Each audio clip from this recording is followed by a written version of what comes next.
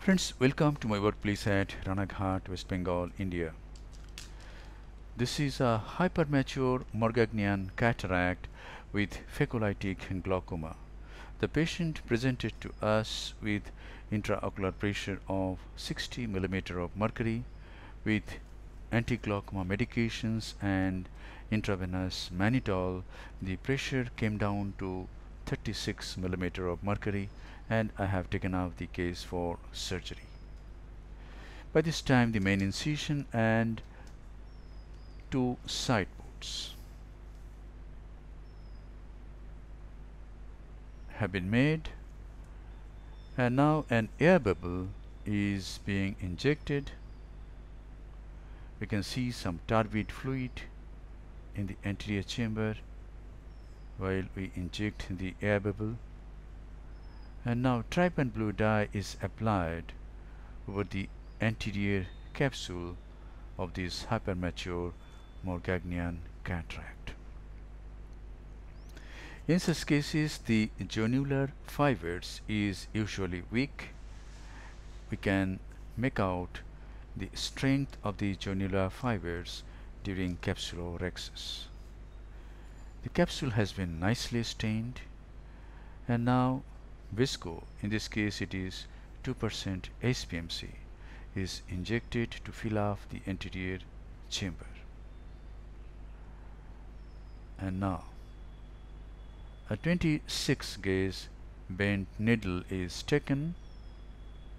The anterior capsule is punctured. And you can see the milky fluid but milky fluid didn't come out like a gush. That is because the lot of milky fluid has already come out through the capsule and the patient has suffered this attack of glaucoma for almost one week and the patient was being treated elsewhere and the patient has come to us today and now I'm aspirating some milky fluid through the incision. In hypermature Morgagnian cataract, we need not do a minirhexis to aspirate the milky fluid. But in intumescent cataracts, we must do a minirhexis. Intumescent cataracts are dangerous. As soon as we make a puncture, it can cause Argentine flag sign. But hypermature Morgagnian cataracts are not like that. Milky fluid will come out like a gush and through that incision without doing minirhexis we can aspirate the milky fluid. And in this case my plan is to do uh, a rhexis of about 5 millimeter because if I plan a large rhexis I may go into the area of insertions of zonular fibers. And if the zonular fibers are pulled already weak zonular fibers may give way. There can be dialysis of the zonule so this has been a very satisfactory rhexis of about 5 to 5.5 millimeter. And now how to manage this nucleus? In this case in this video my aim is to find out and to show the safest way to manage this nucleus. Now let us see how we can do that. First with bevel down I make a track through the substance of the nucleus go near the opposite equator and hook the equator and make a nice crack.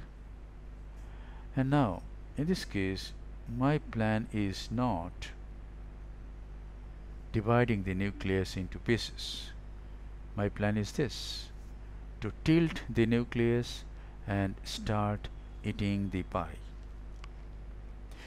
because the equator which is resting on the posterior capsule is actually protecting the posterior capsule. It will not allow the posterior capsule to come forward. So I want to do it this by it this hard nucleus in this way. Just munch it bit by bit. Here it becomes upside down but I again I tilt it and I start eating it up. I'm using about 80% ultrasonic energy. Vacuum is 400 millimeter of mercury. Flow rate is 40 ml per minute and bit by bit taking small portions of the big chunk am eating it up. And this is real time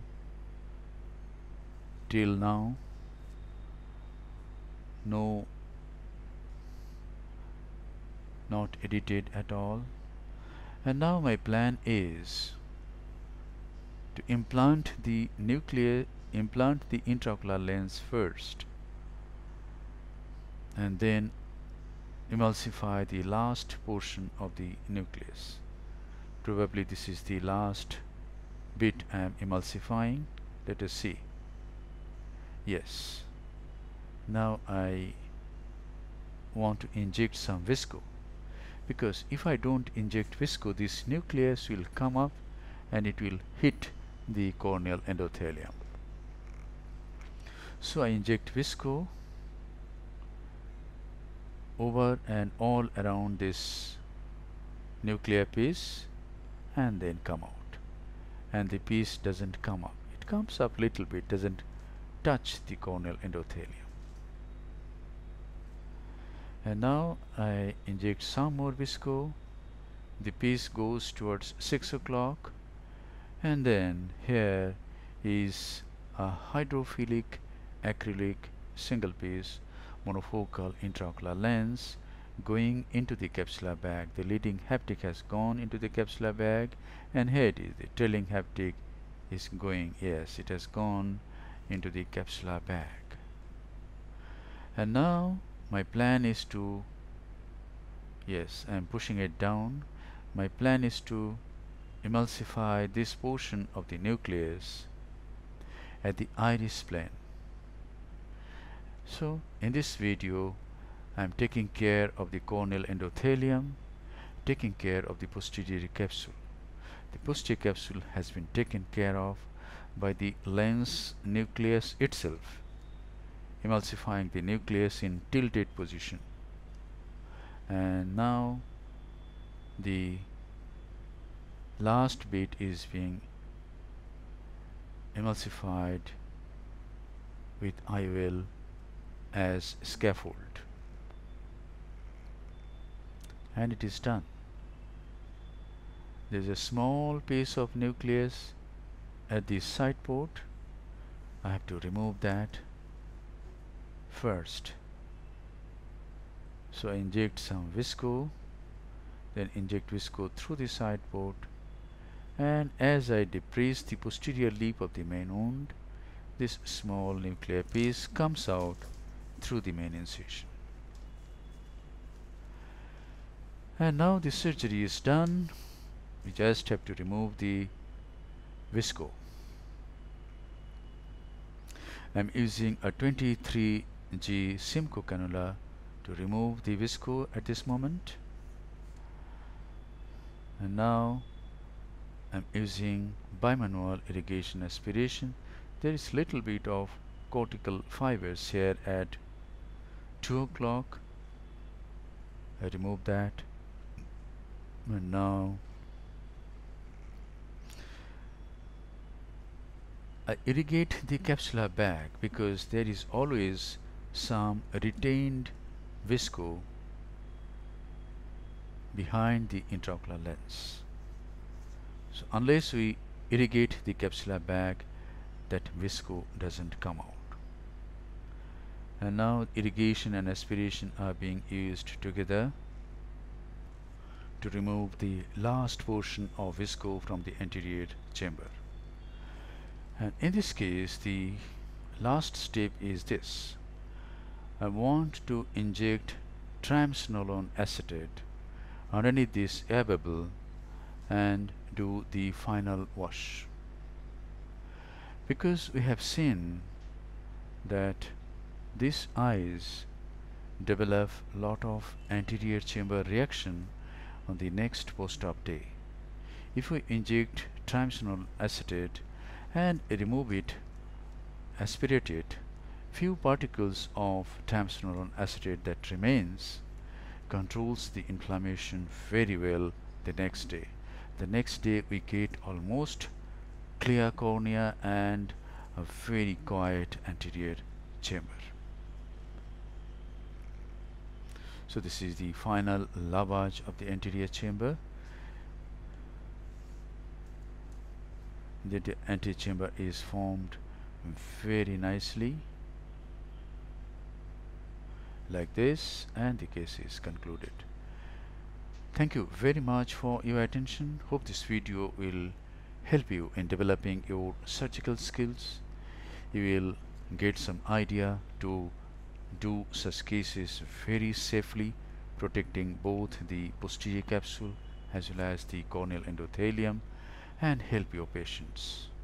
Thank you very much for your attention once again.